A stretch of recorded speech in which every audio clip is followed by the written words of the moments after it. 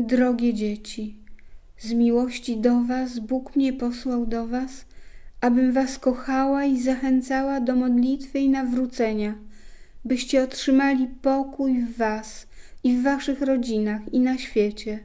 Dziadki, nie zapominajcie, że prawdziwy pokój przychodzi tylko przez modlitwę od Boga, który jest Waszym pokojem.